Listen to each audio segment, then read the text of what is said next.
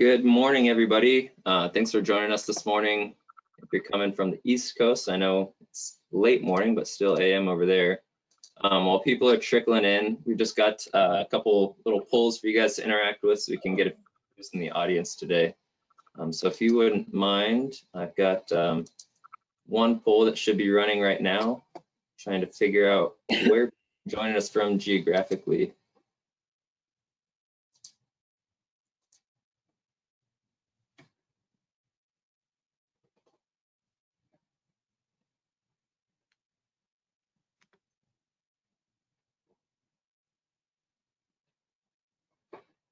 I'm just gonna let that keep running for a little bit while we get some more answers in.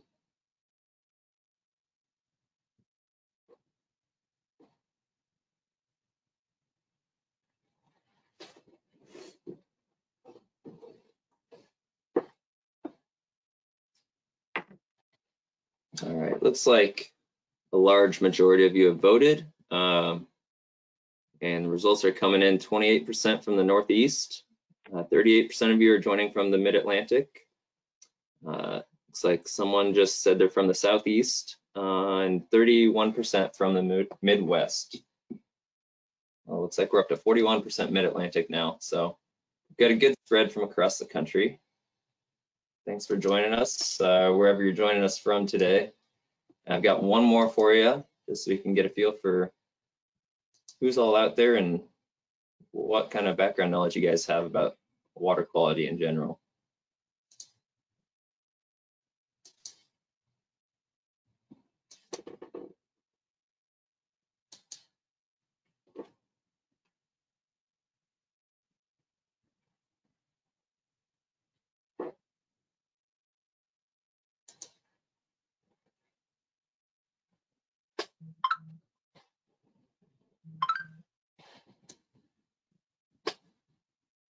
All right, we're got about 83% of the 85% of the audience has voted now. All right, now we're above 90. I'll just go through from top to bottom. 8% of you said the first option, you're pretty new to this. 16% of you said no field experience, but you know the basics. 43% say you have some prior training, education, or experience. 16% uh, say that you're a trained SOS monitor, and 21% of us are professionals in the water quality field this morning. So it looks like we got a pretty healthy spread. Um, about half our audience looks like they chose the middle option, have some prior training or experience. All right, and with that, that concludes our polls. So I'm not gonna be bugging you guys anymore to press any buttons or answer any questions. Um, but uh, we can go ahead and get started with some housekeeping items first of all. Uh, so the webinar will be recorded. Uh, stay tuned to your email inbox probably early next week for a link to the YouTube video. Um, it'll get posted to our Izaak Walton League YouTube channel. And if you guys aren't familiar with GoToWebinar, we don't have the chat function like you do with Zoom where you can talk to other attendees. Uh, all we have is a questions uh, drop-down box. It should be most likely on the right side of your screen in your little control panel. So while Kim and Allison are presenting, you can go ahead and submit questions um, during the presentations or um, at the end, but just let them keep coming in during the during the presentations, and at the end we'll do some Q&A for both uh, both presentations. So um, I will be kind of in the background moderating and, and clicking slides forward and things like that. So you can send me a chat if you have any questions or concerns specifically uh, that you want addressed. But um, yeah, that's uh, that's all of our housekeeping things. So we can go ahead and get started. Today we've got Kim Bogenschutz and Allison Zach uh, coming to us from uh, the Iowa DNR and the Nebraska Game and Parks and UNL. So I'm going to go ahead and uh, turn the stage over to Kim to get started on her presentation. And I'm going to turn off my camera and mic and just be hanging out in the background. Okay, well, thanks, Zach. You can flip to my first slide if you want. And I'll introduce myself a little bit more. So um, I am the Aquatic Invasive Species Program Coordinator for the Iowa DNR. I have been in this position for 21 years now. Um, and I, I do all things that are aquatic invasive, zebra mussels, Eurasian water milfoil, plants, but um, being in the heart of um, the Midwest, Mississippi River on one side, Missouri River on one side of our borders, um, do a lot of work with Asian carp. And so when Allison and I were were deciding um, how we were going to split this presentation up today, I said, you know what, I'll take Asian carp and she's going to take zebra mussels. And so, um, and these are just two of the aquatic invasive species um, that we have here in the United States. And it's great to see that we have a, a, a broad audience today, both geographically and and um, experience wise. And so hopefully um, you have questions as I go along. Um, but as part of my job um, as the as the invasive species coordinator for the Iowa DNR, I am on the Upper Mississippi River Asian Carp team, the Missouri River um, Basin Asian Carp team. I'm on the ANS task force. So lots of coordination amongst uh, the country when we talk about Asian carp. And so I'm going to talk mostly about bighead and silver carp today. Um, grass carp and black carp are included in the general category of Asian carp um, that we address across the country as part of our national management plan. Um, but I, am going to stick to those two just for time wise. Um, and I'm going to talk a little bit about identification, their ecology, and, and how they got here and their distribution, what their impacts are to our waters and our water quality, and then a little bit about the research and management that's going on um, right now with Asian carp in the United States. So you can go to the next slide, Zach, please. All right, so, excuse me, allergies. Um, bighead and silver carp. Those of you who are familiar with like the common carp, the German carp that have been in the United States for many, many years, these don't look anything like them. Um, so that is a big head carp on, on the left, the darker of the two, and a silver carp on the right. So these fish are, they're not as round and robust. They're laterally compressed and they're big. They can get to be really big fish. And if you're familiar with our common carp um, and or like grass carp, which are legal in some states, they have really big scales. Well, the big head and silver carp have really tiny little scales, more like trout. So little tiny scales um, on their deep bodies. They have really big mouths, particularly the big head. Um, and then there, there's no teeth. They're plankton feeders, and I'll talk a little bit more about their biology and ecology um, next. But so they have these big mouths that are low set, and then their eyes are set down low too um, on their heads, almost like their heads are on upside down.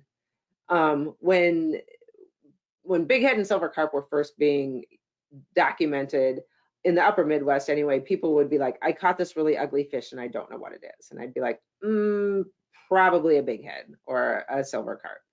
Um, so this is what they look like. I'll, I'll have um, more pictures um, as we go along. Um, but next slide, please.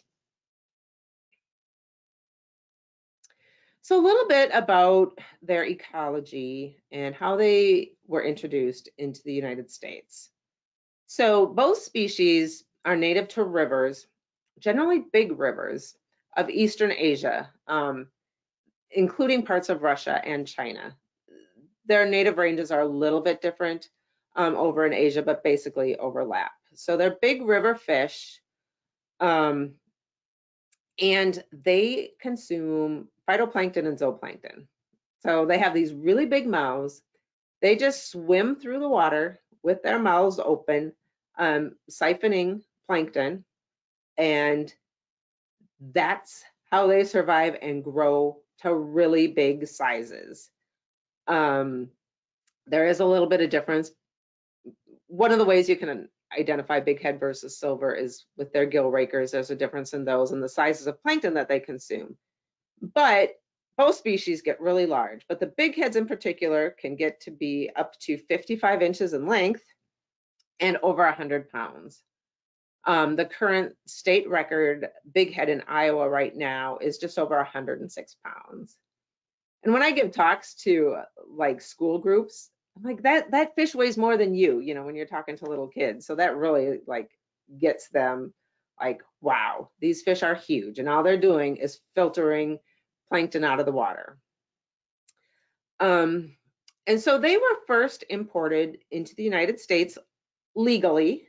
Um, they were allowed to be brought in um, by by a private fish farmer in Arkansas, and, and subsequently other fish farmers brought them in for plankton control. Um, they found out that these fish take a lot of plankton out of the water, would clear up their ponds, um, and so they imported them. Well, unfortunately, a lot of the aquaculture um, ponds in Arkansas and Mississippi are in the Mississippi River Basin. And when we get a lot of rain, rivers flood, ponds get flooded, so they escaped out that way. Some may have been um, released into um, private ponds or, or, other things as well.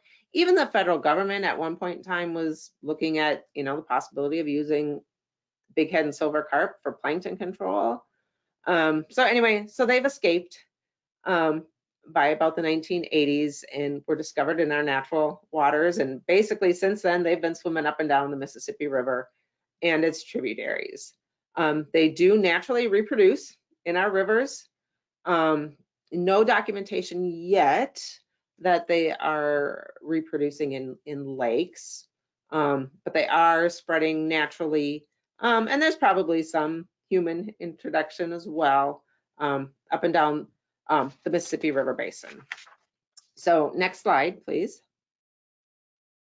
So this is um, this these maps are from the USGS, the U.S. Geological Survey Bureau, um, just updated here um, in April of their current distribution. So the um, the one on the left, the Molitrix, is a silver carp. Um, the one on the bottom right, the Nobilis, is the big head carp. And so you can see their distribution is fairly similar. Um, big head, big head carp are a little bit more widely distributed. They seem to be the ones that that is, you know, moved through first. They're kind of the first ones that we see, and then the silver carp um, go behind them. But you know, you see the Mississippi River going up from Louisiana up into Minnesota, Missouri River going into the Dakotas, um, the Ohio River Basin. So there's um, the only thing that you know will truly stop them from spreading on their own is a dam, you know, some sort of physical impasse like that. You know, you'll see the random locations out in other states. They have been stocked, um, but right now, unfortunately, they are um, spreading up and down the, the center part of the country on their own. So next slide, please. So what are their impacts? Well, like all invasive species and what makes something, you know, one of the characteristics of something being invasive is that their reproduction is super high. And these fish are. You'll see um, from that the the fish um, that in the bottom left corner there.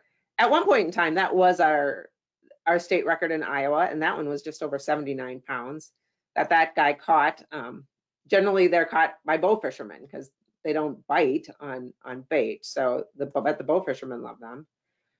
So anyway, that's probably a female fish. That whole lower half of her body is eggs, more than likely. So they just they reproduce really high numbers, and then they grow to large sizes really quickly big head and silver carp can um, grow up to 12 inches in one year.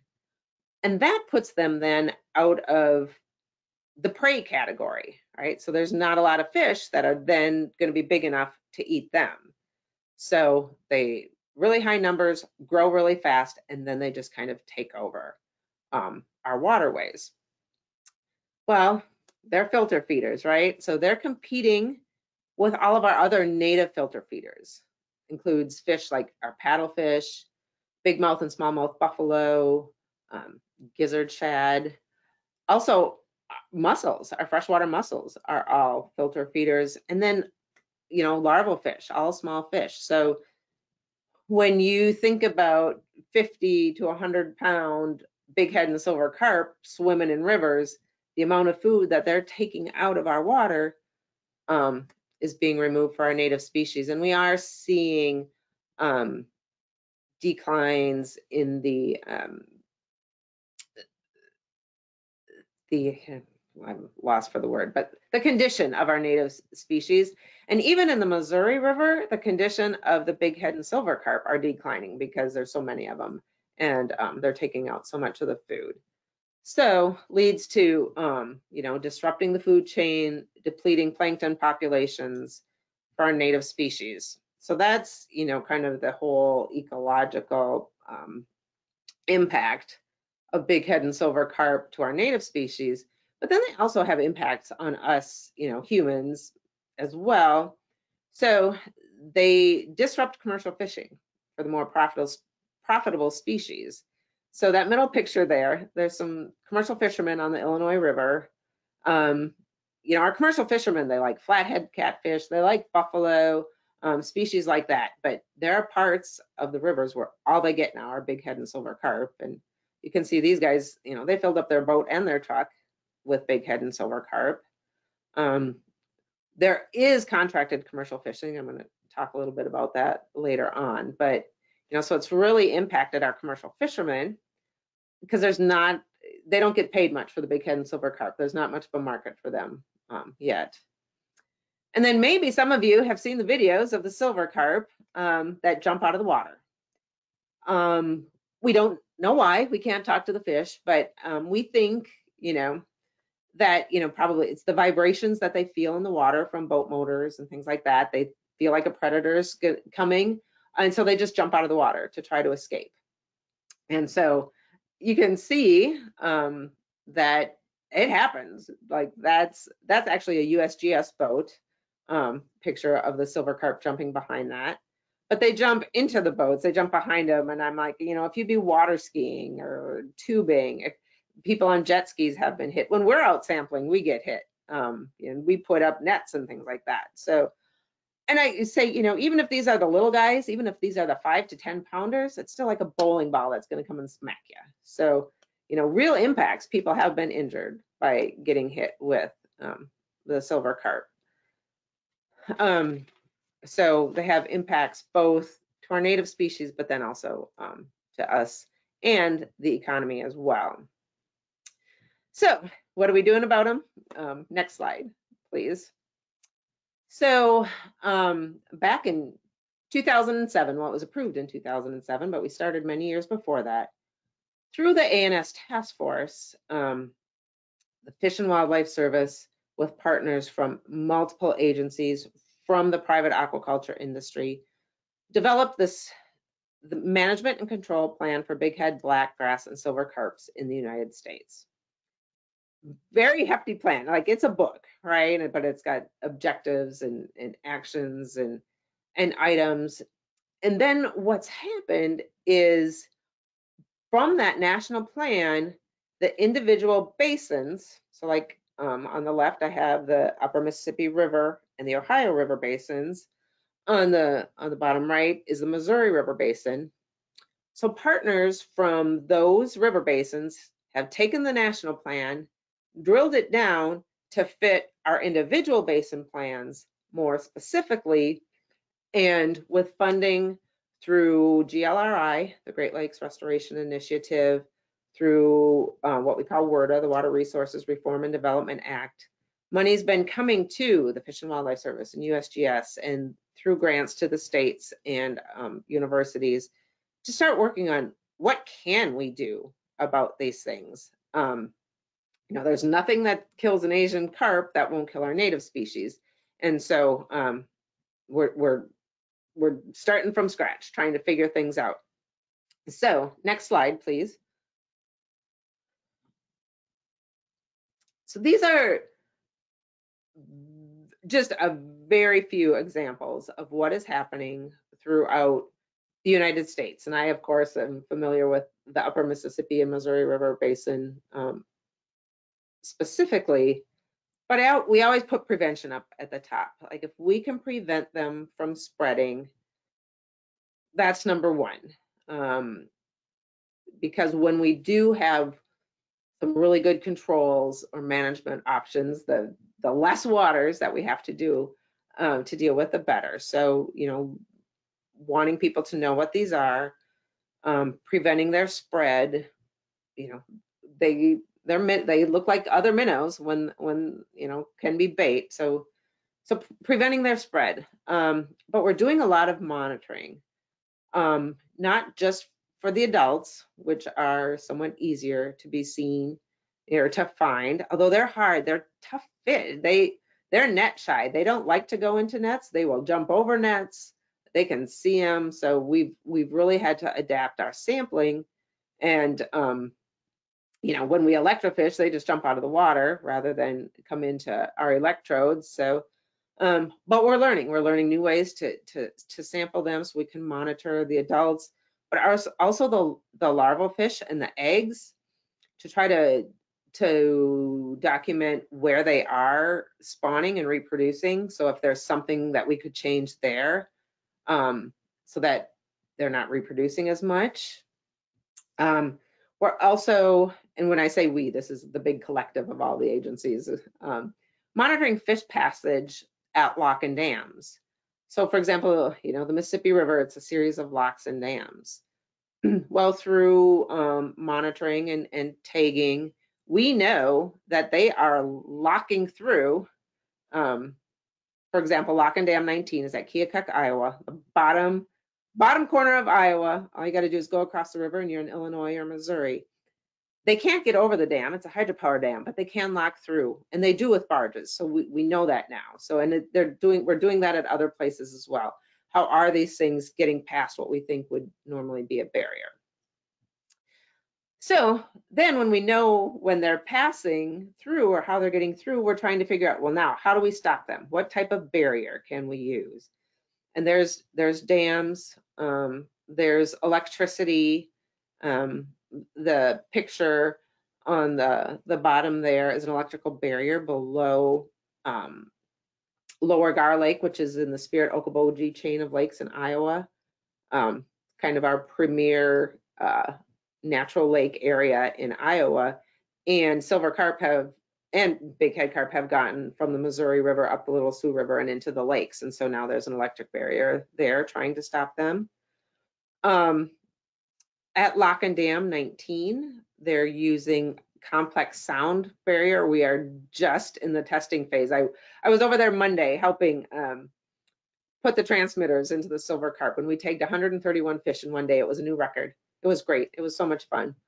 Um, but we're also putting them in native fish too to see, okay, if the sound will stop the big head and silver carp because it irritates them, will our native fish still go through?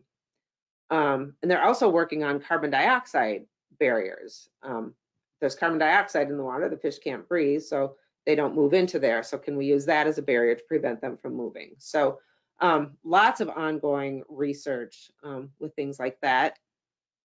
There's also some experimental techniques, and I can never pronounce this very well, but micro matrix pesticide delivery. So that's putting chemicals um, that kill fish, but putting it in a little particle that the big head and silver carp will filter.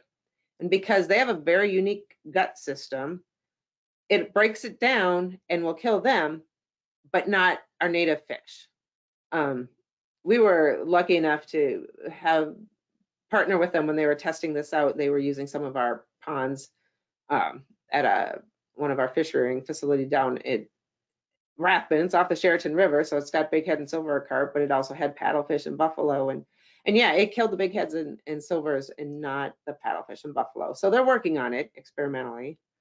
Um, but then just physically removing them, harvest. So um, Illinois in particular, Minnesota as well, they pay contract fishermen to go out there and remove them, but it's also a way for us to monitor and detect.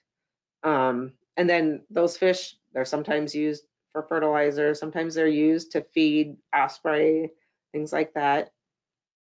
And there's this harvest method, it's called the modified unified method. It's what's used in China.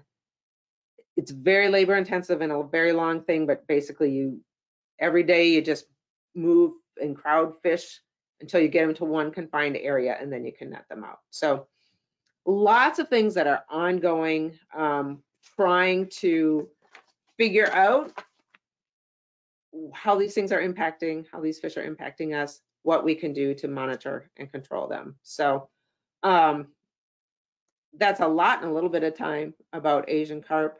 Um, Allison's going to be up next talking about zebra mussels.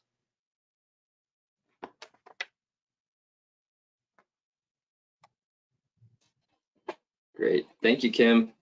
Um, Allison, if you're able, there you are. Um, all right, so now we've got Allison Zach joining us from Nebraska. She's, like Kim mentioned, going to be talking about zebra mussels. Uh, so Allison, I'll go ahead and let you introduce yourself and get started. You're still on mute. Thanks. Hi, everybody. My name's Allison Zach, and I'm here in Lincoln, Nebraska. I work at the University of Nebraska, Lincoln. Um, my program is the Nebraska Invasive Species Program, which is a grant-funded program, funding from the Nebraska Game and Parks Commission, the U.S. Fish and Wildlife Service, and other donors.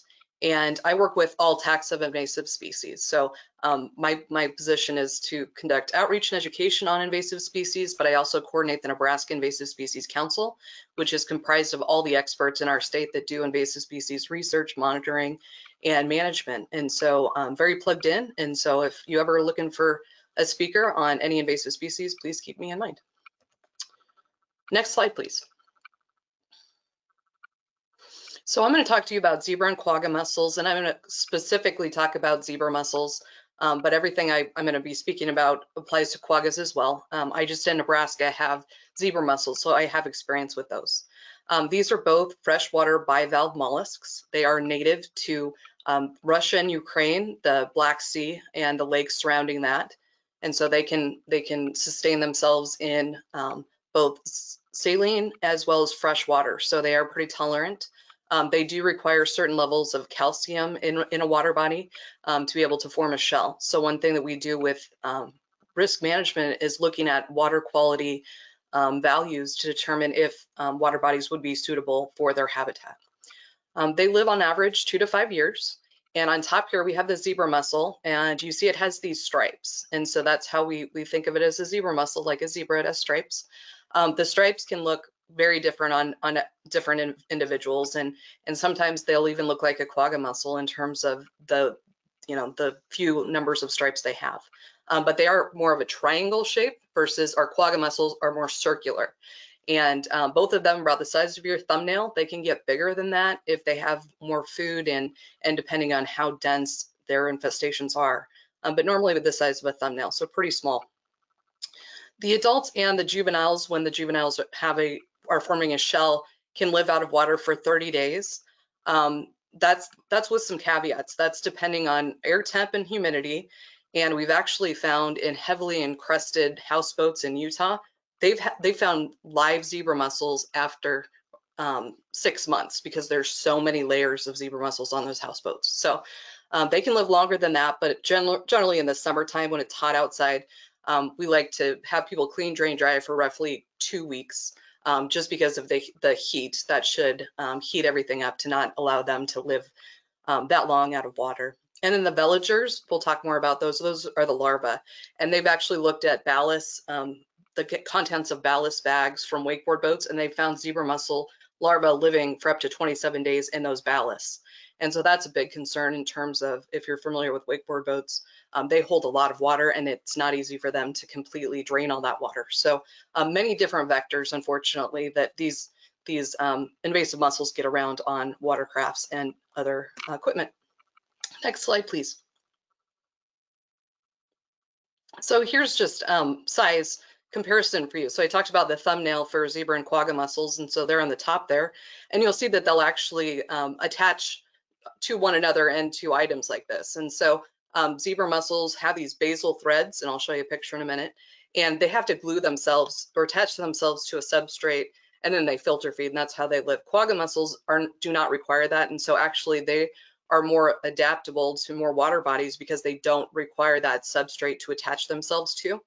Um, but on the bottom, I'm showing you a native mussel. And so native mussels are more like the size of your hand versus the zebra mussels are more of a thumb thumbnail um, size. Next slide, please.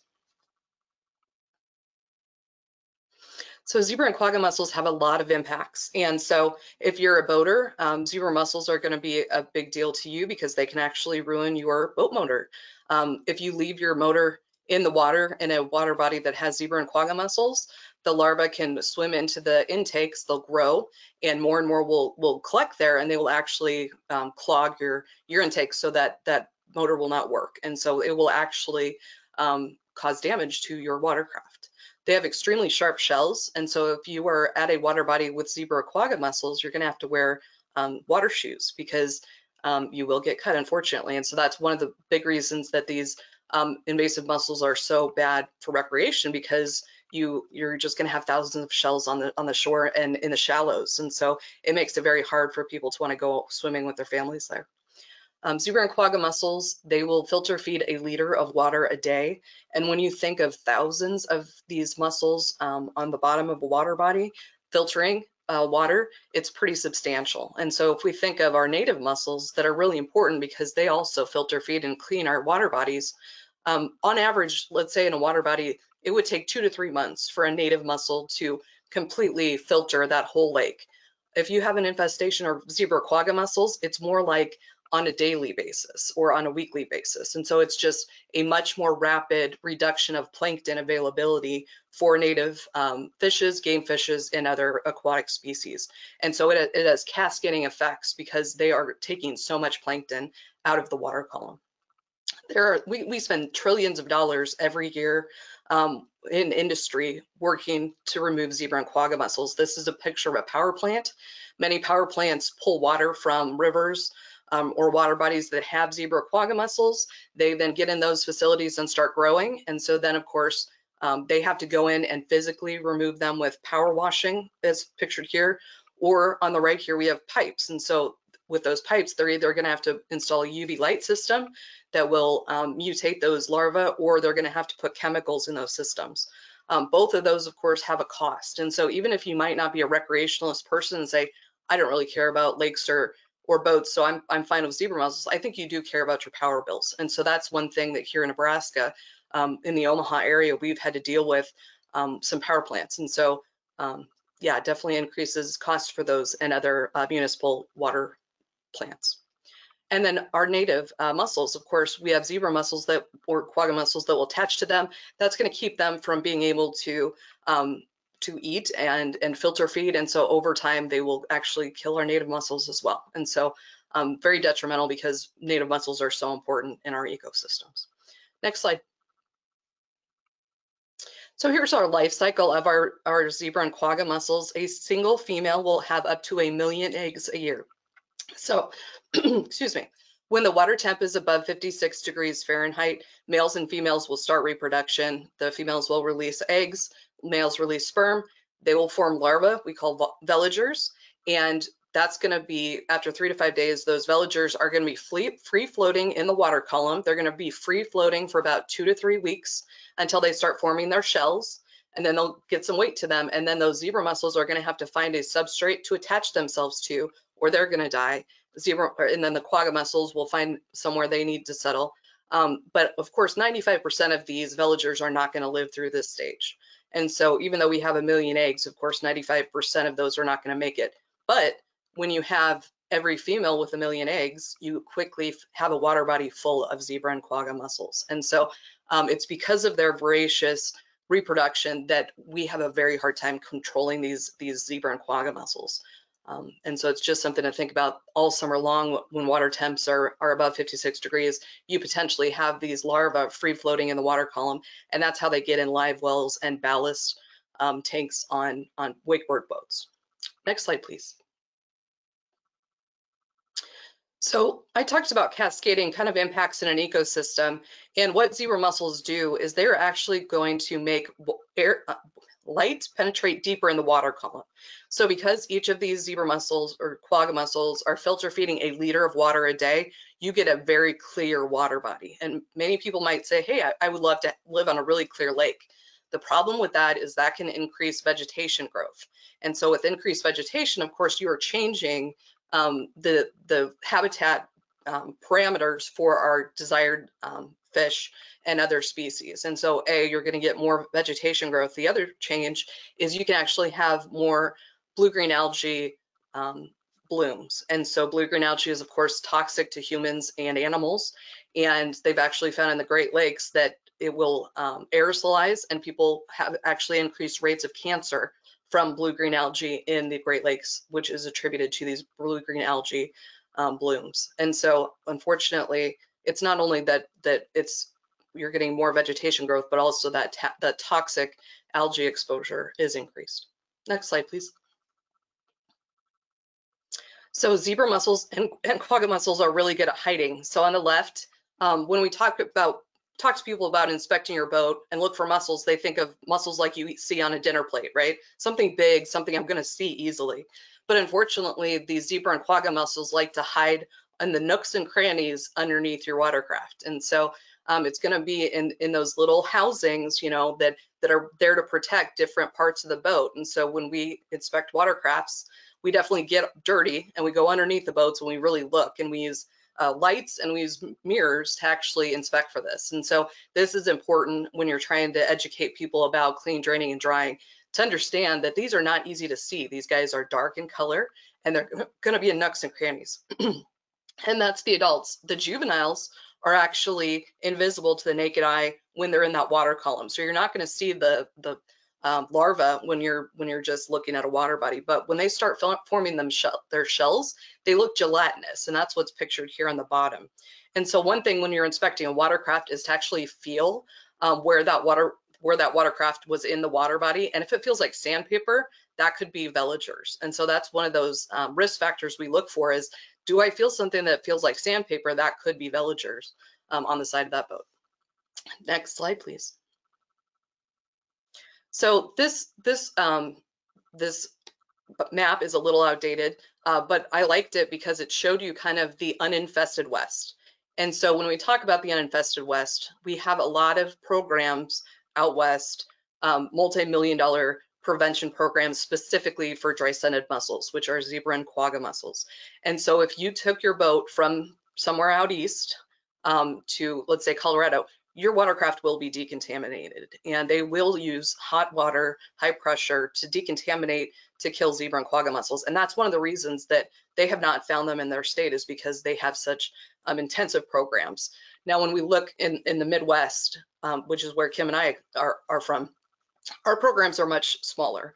Um, and so we, we depend on education um, as, as a real tool as well as technicians to do inspections. But just wanted to bring up here the very big difference we have in terms of resources and prevention efforts on the ground um, in different parts of the United States. And so these mussels came over to us on ballast ships in the in the late 1980s um, into the Great Lakes. And so from there, you'll see that's how, why we have this kind of movement is all from watercraft and other equipment that has been moved um, and those adults and those veligers get get around so easily unfortunately because they can can um, live out of water for a certain amount of time.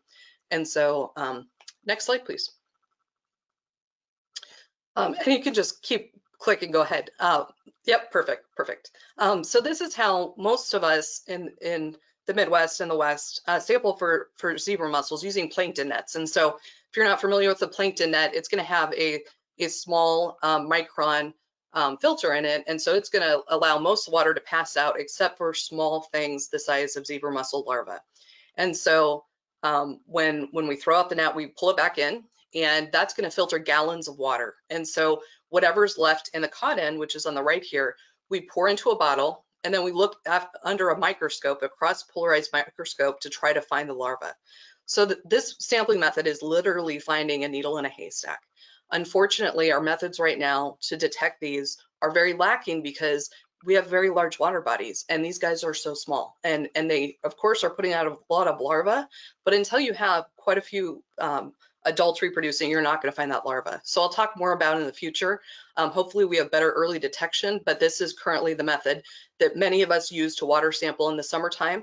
But then we also put out um, substrate samplers. So we'll put out pieces of metal or um, just something um, square-like, and then we'll put it in a water body and we'll monitor that throughout the year to see if we do find any um, zebra or quagga mussels growing on it. Next slide, please. So don't move a muscle. Um, it's all about clean draining and drying. And so this is the real education that um, Kim and I in our states and, and a lot of people use. And so the first thing is to let people know to in, in, to inspect their watercraft before leaving. So we want you to look for any attached plant material, mud, organisms, remove those, put those in the trash. Um, we want them just, just, you know, to not be going anywhere else.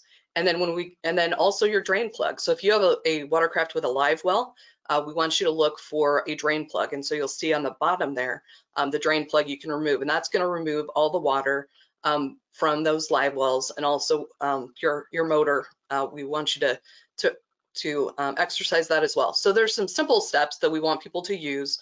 Um, often people are confused, how do I prevent their spread? And it's clean, drain, and dry. So um, when you get home, make sure you clean that water that watercraft and the trailer so there's it's completely clean. Uh, let that dry for at least five days. Two weeks is better um, because we really want everything to be dry and those zebra mussel uh, adults and larvae have no moisture to live. And then if you, when we talk about decontaminations, we're talking about high pressure, high temperature. And so based on research, we found that zebra mussel adults die at 140 degrees Fahrenheit for 10 seconds. And so when you go to one of these states that does decontaminations, they're going to be using these, these temperatures to clean the outside and the inside of your watercraft to remove and kill any adults and larvae. The larvae, of course, are killed at a lower temperature. Um, and so that's what a decontamination is when you hear that word. You can use vinegar. So if you have a live well, you can pour just vinegar you buy at the store in there, soak it for 20 minutes or ropes or any equipment that you got wet in the lake, um, soak it for 20 minutes. Um, and then you can keep that, that vinegar and use it again. So that's something that we use in the field um, to decontaminate our plankton nets would be vinegar. And then also there's a table salt solution. So you can just use table salt and, and water to soak those materials as well. Next slide, please. So what is being done? Um, there is a lot being done. And so when we think about zebra mussels, often I'm asked, isn't it inevitable that we will just have them everywhere? And I'm happy to report that no, it's not inevitable because the majority of people that are educated will clean, drain, and dry their watercrafts. And they will take prevention methods because they, they love the water bodies that they recreate at. Um, and it and as resource managers, it's important to us to protect those resources. So um, in the West, we actually have a watercraft inspection and decontamination data sharing system. And this has been in place for roughly three years. And this map on the right shows you in, two, in 2020 all the locations that were using this data sharing system. And so here's how it works. Here's one of my technicians on the left, and she has a tablet. She has an app on that tablet she will open, and then for every watercraft inspection or decontamination they do, they enter that information. And so they're gonna be collecting information like, where was this watercraft last launched? How long has it been since it, it was launched? Um, and then she's going to inspect that watercraft and document anything that she finds, any risk factors. And additionally, in that in that tablet, if she finds some risk factors that trigger a decontamination, she will document that decontamination in that tablet as well. She's going to hit save, and then at the end of the day, she'll go and connect that tablet to Wi-Fi. It will suck that data into the the cloud, and that data will then be um, available for all the other states and entities that use this system. And so additionally, when she hits upload, it's gonna download all the data from that day that other people have entered into the system. So it's a really cool um, system that allows us to enter a, a watercraft registration number and it pulls up for that boating season any other inspections or decontaminations that watercraft has experienced. So the first thing these inspectors, when they hit search, it will say, hey, this boat was last out Lake Powell, which has zebra mussels, quagga mussels, whatever, you know, AIS there is at that water body. Um, you need to pay attention to me um, versus if it was, you know, like two months ago, maybe that's a less uh, concern. So it's a really um, great system that that is being in, used in the Western United States. Uh, next slide, please. So research, um, research is really important. So like um, Kim was talking about, unfortunately, we don't have a silver bullet to kill zebra and quagga mussels in an open water setting. I'm hopeful in the future I can tell you we do, but we don't right now. Um, we do have um, a copper-based product, EarthTec QZ, that when we have a new infestation, let's say at a boat launch, we found a you know boat launch area, we found a new infestation of zebra mussels, we can put that copper product there and kill that, that, you know, kind of centralized infestation.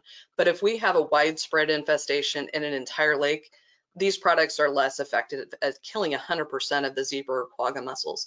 And that's important because when we think back to their reproduction, a single female having a million eggs, um, if, if you don't kill all of them, they'll come back. And so um, EarthTec QZ is a great um, tool we have that can knock back populations, uh, but it can't eradicate them. So other things we're looking at in the lab would be other pathogens that um, are found where these guys are native to in Ukraine and Russia and, and testing to see would that kill them and would that hurt anything else? And so that's one of these biological controls where we, we are, do rigorous test, testing in the lab to say, okay, if we were to release this in a lake, would we have any impacts on other fish species, other, you know, invert species, other aquatic species. So um, lots of testing being done in the lab and field trials as well. And so we're just not there yet. Hopefully in the future we are. So it's all about prevention. Prevention is so important because we don't have any any cure right now um, to treat a lake to, to kill a big infestation. The other exciting thing is environmental DNA. And so this was actually this past weekend, um, went out and did some eDNA sampling. And so when I talked to you about those plankton nets, which we're throwing out and we're pulling them back in, and that's filtering gallons of water to find that needle in a haystack, this eDNA is extremely sensitive. And so it's exciting to think that we could use a, a pump and a tube and filter a certain amount of water and then take the, the filter on the end there by the by the blue piece and do PCR DNA analysis on it to detect dreissenid mussels early on.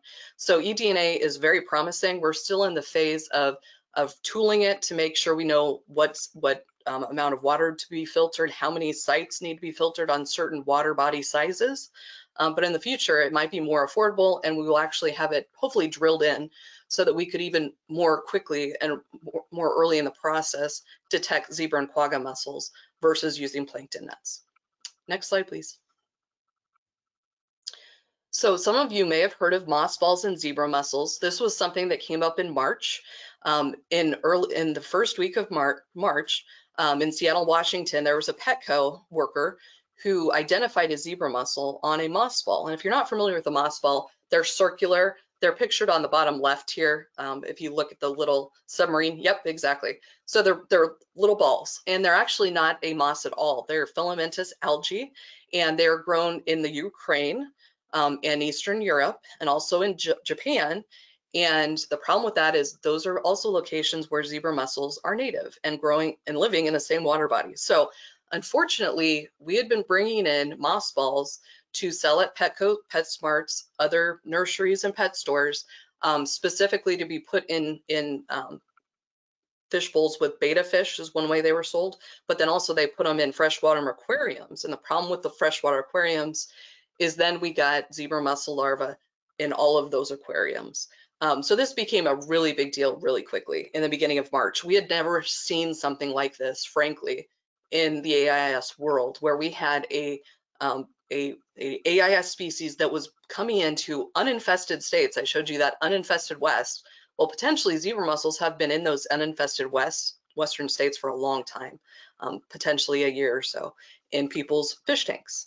And so um, the good news is that you know all the AIS coordinators are in very good very good um, communication with Fish and Wildlife and other agencies. And so immediately emails and calls occurred and said, hey, we found a zebra mussel in Seattle Petco. Um, within the next week, all of the states went to their their Petcos and PetSmarts, and so did Canada, and they started finding zebra mussels in their mossballs. And so it ended up after we kind of did this this um, search of all the Petcos and PetSmarts and, and pet stores that 41 states were found to have moss balls with zebra mussels and nine provinces and territories. So we had a big problem. And one of the biggest things that was happening was USDA APHIS is who at our borders is in charge of inspecting plants to allow them in the country. Now, the problem is they don't have any jurisdiction over a zebra mussel. They have jurisdiction over a plant to make sure that that plant is the correct plant of what's listed on the shipping manifest, for example, or the permit. So they have phyto um, permits. And so they would look at that permit and say, yep, it looks like that's the right species, you're a go. And so they were just coming in. Um, so as soon as this happened, the U.S. Fish and Wildlife Service um, went to the distribution center at the border um, in California where this was coming in and started a very um, extensive um, investigation to find out, you know, throughout the United States where these were coming in and then to work with APHIS to um, inspect all those moss balls, redirect them back, um, and so forth. And so um, I'm happy to report that the U.S. Fish and Wildlife and, and APHIS are working very closely now at the borders. They're only allowing moss balls into two, two different locations, and so they can um, look at them every time they're coming into the United States um, and, and take care of them. And then AIS coordinators or aquatic invasive species managers in your states, um, many of your states have laws that prohibit the, the possession or the, the move or the trap, the possession or the transport of zebra mussels. And so they have state laws that their law enforcement has also been investigating on this. So if you have more question about moss balls, I have a lot of information on my website. And uh, Zach, if you want to go to the next slide. My uh, website is neinvasives.com. So please come and the front page will take you right to the moss ball page if you want to learn more. Um, also, lots of information on other invasive species of concern. And my information, my contact information is there as well if you'd like any more information. So with that, thanks, Zach and everybody, and I'll turn it back over to you.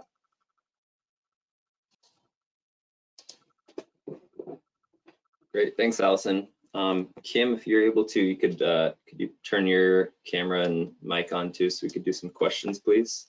Awesome, there we go. Um, so I'm just going to leave this page up for now, but I'll roll through some questions. But first of all, I want to say thanks to Kim and Allison. Those those are a couple great presentations. I am not, admittedly, not super familiar with this world, so I learned a lot, and uh, hopefully the audience took some good stuff away. Um, we've got some questions. I'll start with uh, one for Kim. Somebody asked if there's any updates on the use of pheromones to stop Asian carp from moving up a river. Uh, Australian biologists were doing some work on this several years ago. Um, there has been some work. I think there's still ongoing um, USGS. So pheromones are used are being used to um, bring them together. So um, it, it, you know it doesn't kill them or anything, but all minnow species kind of have use pheromones to, to congregate. And so um, there is some work. What pheromones would be used for is to make the Asian carp come together in one location so that it'd be easier to harvest or remove them from. So there is still some work going on. I haven't heard many updates about that since then. Um, but yeah, that is something that's still being worked on. Cool. Um, try to keep it even and go over to Allison. Um, somebody asked, so you, you had the slide talking about um, cyanobacteria and um, the mussels. So somebody asked, why are cyanobacteria not filtered by these mussels? Are they too small? Very good question. Um, so these mussels are tricky because they don't like they can they can sense that it's toxic, and so that's one of the problems we're having with finding a, method to control these guys because they will they will taste something and say no that's toxic and spit it right out, and so that's why a lot of these chemicals that we've tried in the lab don't work because they sense that it's toxic and they spit it out. Um, so so they're just smart and they they don't eat it unfortunately. Dang, tricky. Tricky. Um, Somebody asked a question for you, Kim, about um, what is the feasibility of harvesting uh, the carp to be processed into fish emulsion fertilizer, and is there any market for this? Um, so I'll just, uh, you know, address harvest in general. So harvest as a control right now, um, we're really only getting a particular size of fish, so the bigger ones. Um, so there's always little ones that are still reproducing. So it's currently not a method to like eradicate them at all. Um, there, I don't know the specific process for turning them into fertilizer. I know that there are some issues with, because Asian carp are filter feeders, there's potentially contaminants within their bodies and flesh that we don't necessarily want as a fertilizer. And so um, that's also sometimes why it's not, you know, used as pet food or things. There are certain companies that are working on it. They're slowly developing um, markets for that. Um, we're also trying to develop the food market for it. I mean, I've heard that China would love to take them, right? Our waters are clean compared to theirs, but they want it a really fresh product. And so how do we harvest them here and get a really fresh product there? Um, there, there's not a lot of funding for that type of thing. And that's one of the things that these industries are asking for is some money for startup programs to try to utilize Asian carp a little bit more. So hopefully that answered the question. I think so. Um, back to you, Allison. Somebody's asking, uh, is there anything I can attach to my boat in Lake Erie to prevent the zebra mussels from getting into my engine? Yeah, so there there is a muscle master, and so feel free to send me an email. Um, there are some caveats with that, and it depends on, on the type of boat you have. But please email me. There is there is a product that is actually a filter that you can put on your watercraft, and it will prevent um, those those veligers from actually coming into your boat.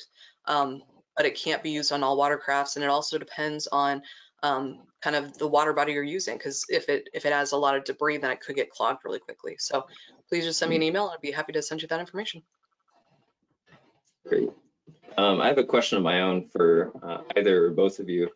and I know some of our audience mentioned that they were SOS monitors. And so we monitor for aquatic macroinvertebrates. Uh, many of them are filter feeders as well in their larval stage. And so do you guys know, um, I would imagine there would be impacts to macroinvertebrate populations from these invasive species well. Do you guys know anything about, the, about that? Kim, I, I don't, but, but you're right. If they're, they're filter feeders too, I, I would guess that there's less um, plankton available. But, uh, you know, and the the Asian carp in particular are taking the plankton from the water column, not necessarily from below, because they actually, they rise at night mostly and swim at the surface with their mouths open. But the zebra mussels are at the bottom. So I, I would guess, and Allison can chime in too, that there would be some impacts. I don't know that anyone's ever studied that though, really. Might have a potential project on our hands then. There you You're go. right. Yeah, if you Absolutely. could Document, yeah, declines in invertebrates in a location where there's zebra mussels, that would be, that would be Mhm. really cool. Interesting. Yeah, a lot of our, our macroinvertebrate monitoring is aimed at smaller, uh, knee-deep and shallower streams. So I don't know if we would have, um, probably not the carp so much, but maybe mussels in the moving water.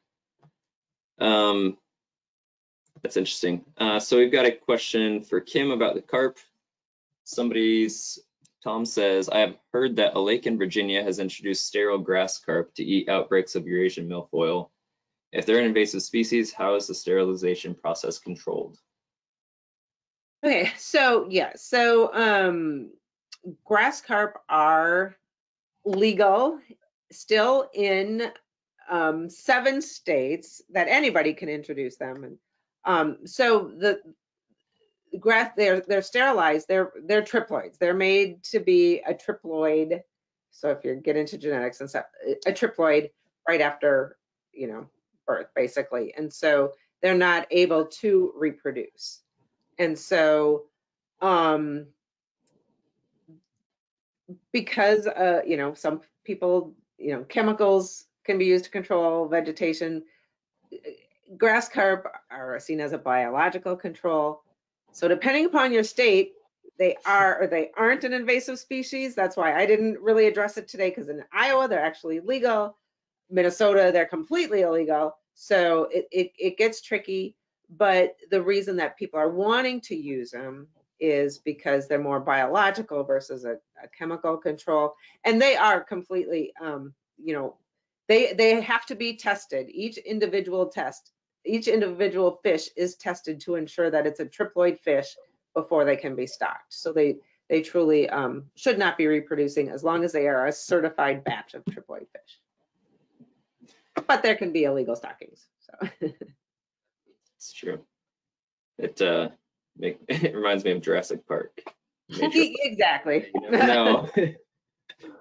um, all right, I've got one last question on here uh, for Allison. If you guys have any other questions, go ahead and submit it. We've got a couple minutes, but uh, otherwise this will be the last one. So somebody asked, are manufacturers making any modifications to wake boats and other recreational watercraft to allow for complete drainage of ballast water? Yes, great question. Um, so the ABYC or the Amer- American Boat and Yacht um, Commission and again, you can send me inform your information if you want more, but ABYC, put it in Google and say boat, you know, and AIS.